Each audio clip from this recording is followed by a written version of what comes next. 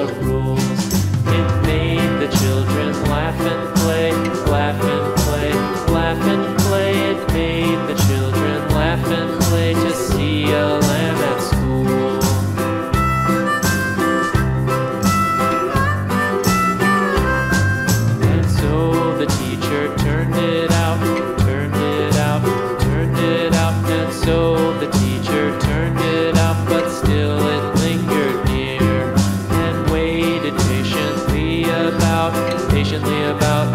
patiently about and waited.